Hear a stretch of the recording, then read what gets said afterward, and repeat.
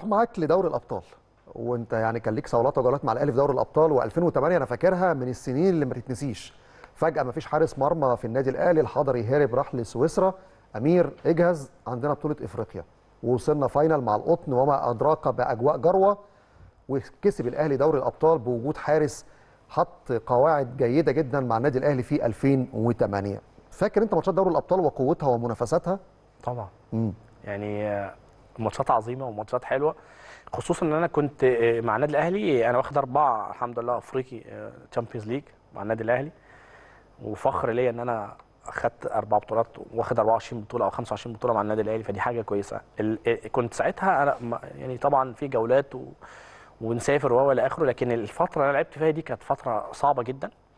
آه، أنت بتتكلم في الحارس الأساسي بتاعك اللي هو من أهم الناس في في, في التيم مش موجود في يوم وليلة.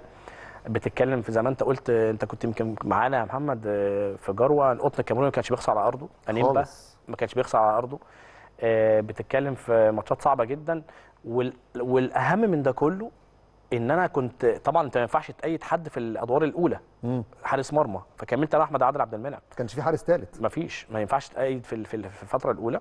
تاني حاجة كنت ساعتها آه، عندي إصابة في المزق في الخلفية. ده السوبر الإفريقي. ده السوبر. آه ضد صفاقسي. كسبنا 2-1 فلافيو أعتقد ووائل جمعه أو فلافيو الاثنين.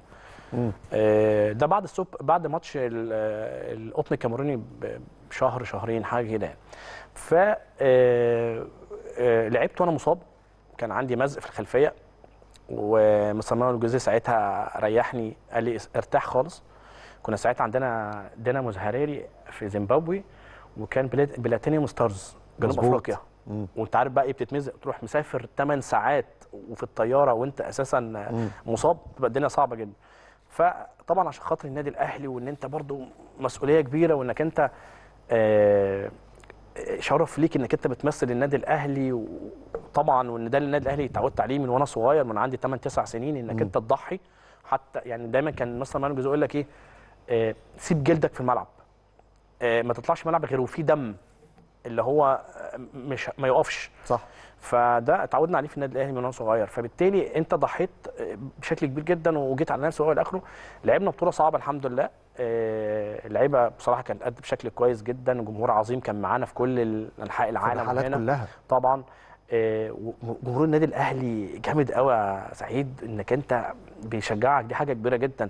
وإنك تفرحه الجمهور ده لما يكون فرحان في الاستاد. يعني أنا بص قمة السعادة وإحنا مثلا جايين من كأس العالم للأندية ثالث العالم أول مرة أو ماتش القطن الكاميروني.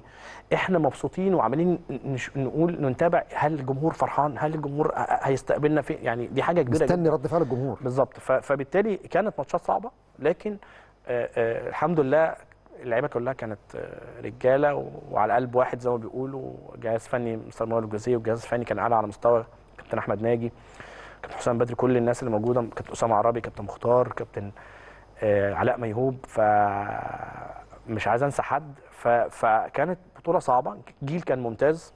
جيل نجوم كبيرة جدا بره الملعب وجوه الملعب.